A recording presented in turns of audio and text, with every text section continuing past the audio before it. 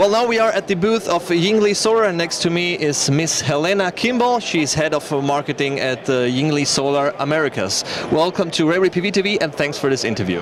Thank you very much for having me. So, what are your or Yingli Solar's expectations for the Solar Power International 2012? We're excited to be here. It's certainly the biggest trade show of the year, and we're announcing some new products. We're also um, happy to meet with our customers that are uh, excited to be here as well. So we're we've got big expectations that although we're in a time where a lot of people are downsizing and uh, are really focused on where they can have the most innovative products and technologies possible that uh, we're really keeping our, our eyes on the ball and, and uh, paying attention to our customers and the business models. Well, you have mentioned you're here to present a new product. Can you tell us something about that? We're actually standing in front of this new product. Uh, so what we're looking at here is our YGE-U series module.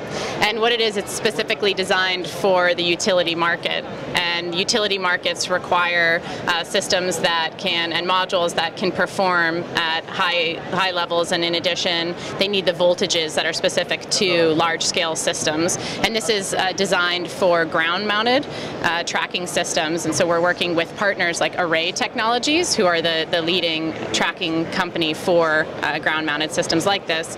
And it's certified by UL for 1000 volts. Is it already available? Yes, it is. Uh, worldwide or only in the United States? In the Americas. Let's talk about the market situation. We know that because of these uh, preliminary tariffs, the worldwide solar market is a little bit insecure. How is this affecting Yingli Solar? We've been uh, aggressively defending ourselves since the inception of this petition, which was uh, October of last year, and the final decisions will be made in November. So, from our perspective, we, along with other leading Chinese module manufacturers, are fighting this, and we believe that we're not unfairly dumping, nor are we unfairly subsidized. And we hope that we'll be able to, um, through government to government negotiations, be able uh, to come out with something that's reasonable for our customers. And uh, are there any new markets Yingli Solar is trying to enter, like South America or, I don't know, the Middle East?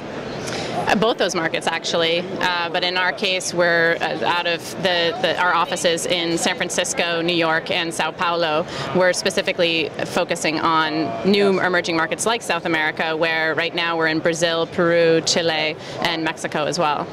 Well, thank you very much. It's uh, Miss Helena Kimball, Head of Marketing Yingli Solar Americas.